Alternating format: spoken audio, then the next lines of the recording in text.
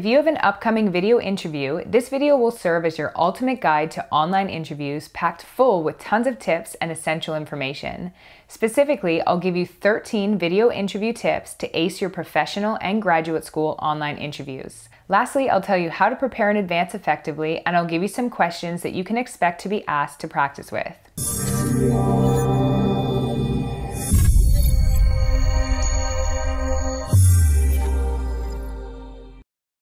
For those of you who don't know me, hi, I'm Nadine Evans, an admissions associate at BeMo Academic Consulting. As you might already know, we help students with admissions to med school and other professional programs because we believe that everyone deserves access to higher education. That's why we give everything we learn in our consulting programs absolutely free on our YouTube channel, so make sure that you subscribe right now so you don't miss any of our upcoming videos. Before I get into the tips, I want to quickly tell you what to expect in a video interview. So, a video interview is exactly as it sounds. It's an interview that is conducted over video instead of in person. There are two types of video interviews live and virtual. Regardless of your interview type, your assessors could be comprised of faculty members, current students, residents, or even members of the community without a background in your specific field. Live video interviews are conducted using a video conferencing program, perhaps even one that you're familiar with, so something like Skype or Zoom, FaceTime, or Google Hangouts. Interviewers will send you a link to join the interview, or you may have to provide your screen name or your ID, and they'll call you to begin the interview. There are three different types of video interviews that you can expect the traditional, the panel, and the MMI. A traditional interview is a format that you've most likely experienced throughout your life, so probably in a job interview, and it's your standard one on one interview. A panel interview will involve multiple assessors, often between two to four, with some or all of the panelists asking you questions throughout the interview. The multiple mini interview, known as the MMI on the other hand, is a more complex interview format as interviewees will be exposed to a variety of different stations, normally between 6 to 10. Each station is timed and will be focused around a specific question or a scenario known as a prompt. You'll have two minutes to read this prompt and prepare your response in advance before you join with the assessor. Once you've virtually entered the room with the assessor, you'll discuss or answer the prompt for five to eight minutes. Once the timer is up, you'll be automatically transferred to a new station and the process will repeat. A virtual interview is also a type of video interview, however, this format differs from a live interview as it won't be conducted with humans. So instead, you'll be recorded and will answer questions verbally or by typing, and admissions committees will review your responses afterward or at a later date. Normally, the interview questions are predetermined and all applicants will be asked the same questions. Prior to your interview, you'll be given instructions on how to join the interview as well as how to set up your microphone and your camera properly. Okay, so now let's get into the 13 video interview tips. Tip number one practice talking to your computer. Yes, this may sound strange, but you need to practice maintaining eye contact with your interviewers, which in the case of online interviews is actually your web camera. Most of us have a tendency to look at who we're speaking with on our computer screen during a video call, but to the interviewers, this doesn't provide them with the eye contact that they're hoping for, and it actually appears as if you're looking down or sideways or in an awkward position, depending on where you've positioned the interview platform screen. So, looking into your camera when you answer questions is the best way for you to maintain eye contact with your evaluator. But no doubt it's going to feel really unnatural at first as it's not something that we're used to doing. So, because it's something that we're not used to, it's important that you practice until this feels normal. Other than eye contact, it's important to practice your responses out loud, either looking into a mirror or ideally while you record yourself. This is a great opportunity for you to review your recorded responses and look for any distracting speech fillers, such as repetitively using the word like or um. You want to try and limit the use of these words because using them excessively will make your thought process appear disjointed and it'll actually make you appear nervous or unconfident.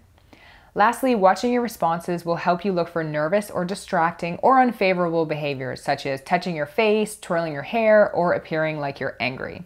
Video interview tip number two check your username and picture. You know it's not professional? Connecting with an interviewer with a cutie pie for life as your Skype ID, complemented by a photo of your dog licking your face. Yes, we're all guilty of having embarrassing usernames, at least at some point in our lives, but now is the time to change your username and picture or set up an entirely new professional account if you really can't go of that original username. If you really can't let go of that professional username. If you really can't if you really can't let your original username go. The same principle applies if you have to create a new account for an interview platform that you don't possess. Just ensure that you're creating a professional username and use a professional photo. So, for example, if your name is Maggie Smith, you could use Maggie underscore Smith, and that would be acceptable and professional. Number three is to avoid technical issues. So, anticipating technical issues and working to eliminate each potential issue before it happens is essential to a successful video interview. First, start off with your internet connection. It's a good idea to check the speed of your connection by using an online internet speed tester. You can easily search this and Google, and a variety of speed test options will come up. If you find that your internet connection is sporadic or if it falls below the recommended internet specs of the interview platform that you'll be using, it's best to connect directly to your router to ensure constant connectivity throughout. It's a good idea to do this regardless of your connection if it's at all possible. If connecting to your router isn't possible, then try to ensure that the room you pick for your interview is close to your router. Distance does make a difference with connectivity, so being closer to the router can ensure better connection strength. Next, you need to test your mic and camera to ensure that they both work beforehand. If you're going to be using an external mic, ensure that you've selected this as an option in your computer sound settings, otherwise your computer may still use the sound from your computer's mic. Closing all programs and internet tabs as well as restarting your computer before the interview can really help ensure that your computer's processing power is maximized. In addition, once you've restarted, quit any programs that automatically open on startup. And finally, keep your computer plugged in for the duration of your interview. Even if you think that you have enough battery and you're at 100%, your interview may take longer than expected and the video draws a lot of power. So having your entire computer shut off because it's out of juice would be disastrous. Video interview tip number four, dress appropriately. So, you don't want to be one of those people that you've likely heard about who decided not to wear pants during an interview or during a conference call, and they stood up at some point without remembering that unfortunate choice. Even though your web camera may only see the top half of you, dress exactly like you're at an in person interview. So, this means from head to toe, you should be appropriate. So, for example, a suit paired with a button up shirt and a tie for men, and a pantsuit or skirt paired with a blouse for women. In terms of color choice, neutral colors are ideal and try to select solid colors as opposed to distracting patterns. In particular, be sure to avoid highly contrasting colors, such as a black and white pinstripe top, which tend to show up intensely on camera and can distract your interviewers. Tip number five, maintain interview etiquette. Just because you're having an interview online doesn't mean you should disregard interview etiquette. Some students make the mistake of getting too comfortable because they are having an interview in their own home. Talking to your interviewers too casually or in an unprofessional manner is never acceptable. Remember, you are still being assessed as a potential candidate for a specific program. This isn't a fun meet and greet with friends, it's a formal interview, and you must ensure that you put your best self forward. In particular, first and last impressions will still make or break your interview.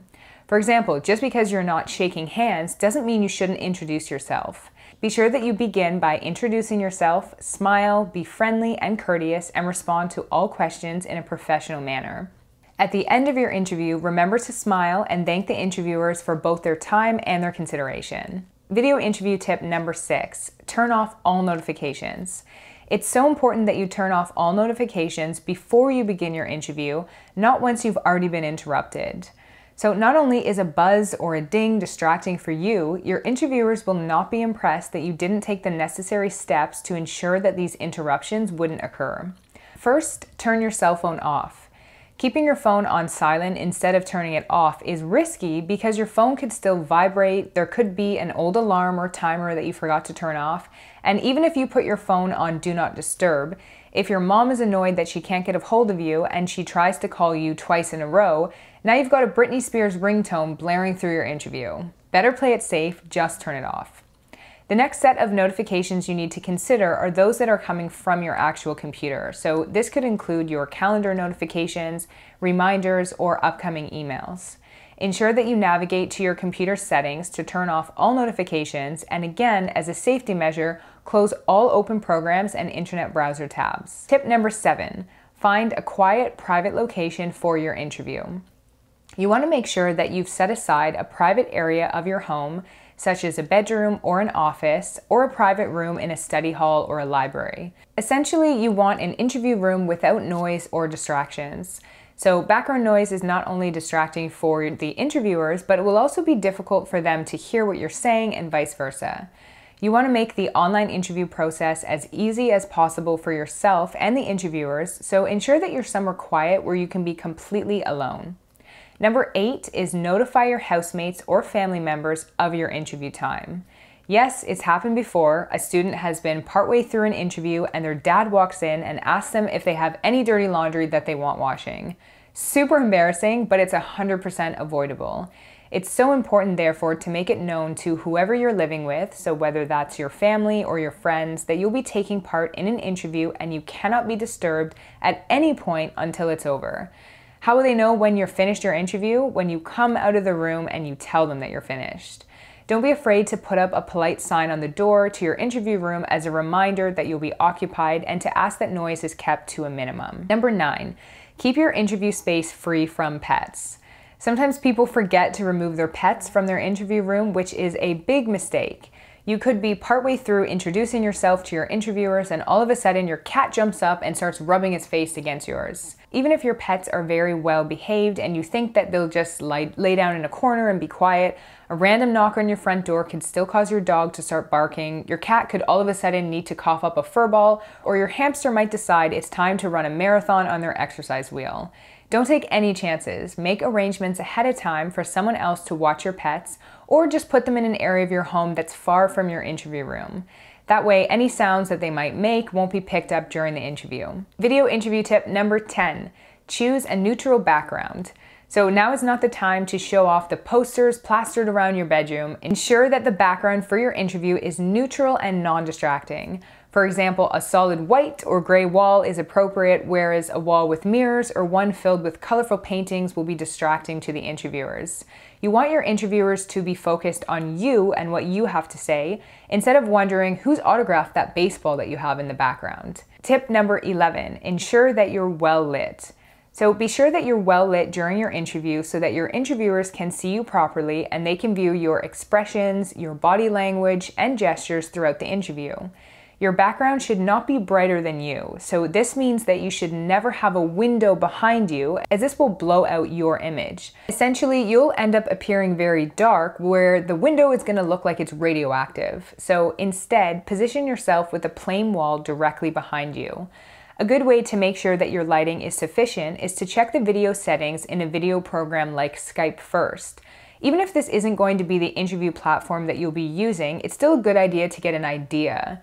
So this way you're not only checking that it's easy to see you, but you can also test out the framing to ensure that there isn't anything random in the background that you thought that you cut out, but you actually didn't. Keep in mind that the aspect ratio of each video program will be slightly different, so always make sure that your background is free from objects and clutter, even beyond what your test actually reveals to you. If you notice that you're not bright enough, use a lamp or a handful of lamps to help light a dark room. And lastly, even if you feel that the room that you're going to interview in is very bright, it's still a good idea to keep a main light on to allow for changes in outside lighting, such as the sun going behind a cloud. Tip number 12 close your windows. Even though we all love fresh air and it's very nice, an open window is just an opportunity for loud noises to interrupt your interview. You never know what's going to happen outside of your interview room. A person could be walking by with a barking dog, an ambulance could drive by, or a car might beep its horn. So ensuring that the windows in your interview room and adjacent rooms are shut just completely eliminates these possibilities. And the final video interview tip that I have for you, tip number 13, is to keep water close by. So having a glass or a bottle of water within reach during your interview is always a good idea. Your interview could be over an hour in length, so it's quite likely that at some point you might feel thirsty, your voice could become hoarse, or you might even have a tickle in your throat. It's perfectly acceptable to have a few sips of water throughout the interview whenever it's needed, but the last thing that you want to do is leave the interviewers waiting while you jump up, run to the kitchen, grab a glass of water because you're having a coughing fit just because you failed to prepare in advance and have water ready for you if that moment happens. So, now let's talk a little bit about how to prepare for your online interviews now that we've gone through all the tips. So, if you want to be seen as an excellent applicant during your video interviews, you have to prepare and practice in advance. Most questions that you can expect to be asked during your interviews will be very, very difficult to answer on the spot. Questions such as Tell me about yourself, why do you want to be a doctor or a dentist, a pharmacist? These are required prior brainstorming and consideration in order to structure a well thought out, effective answer. No matter what type of question you receive in your interview, you need to have a strategy for tackling each and every one. While you won't know exactly which questions you'll be asked, if you know how to answer each and every type of question, you'll be able to ace your interview. So, how can you best identify and answer any question? By participating in real life mock interviews that will simulate the interview type that you'll be experiencing.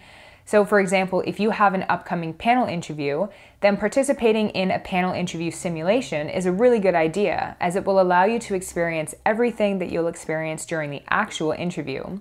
Real life mock interviews will not only allow you to practice with questions that are likely to come up in your actual interview, but you will actually receive personalized feedback on your responses to each question. And this way you can strengthen or eliminate weaknesses early on, and you'll only provide strong answers on your actual interview day. Mock interviews will also help you manage the inevitable emotions and stress that comes with a high pressure interview. There's no getting around the fact that interviews are stressful, and being observed and judged can feel really strange for most of us. This constant surveillance just adds to the pressure on you to respond to questions in a way that showcases your best self. Because, of course, you really want to perform well and you want to get into your dream program, but being worried about making mistakes and not knowing how to answer certain questions is going to add on a lot of anxiety that's completely preventable. Participating in mock interviews can significantly reduce, if not eliminate, the stress and anxiety on the actual interview day because you'll know what to expect, you'll have your strategy ready, and you'll be able to tackle any question that might be thrown your way. Most people find virtual interviews strange and awkward as you're essentially talking to your own web camera. Virtual interviews without interviewers means no one to converse with, no nods, smiles, or feedback, no sounds, not even an interview question, only you and your camera. Trust me, it's weird if you don't practice beforehand, and if you come across as nervous, confused, robotic, or inauthentic, you're not going to proceed further in the admissions process. So now I want to give you some sample interview questions. In addition to participating in realistic mock interviews, practicing with sample questions is an important part of your video interview preparation. This allows you to get a sense of common questions that will come up during your interview so you can begin formulating responses to questions that you may not have thought about previously.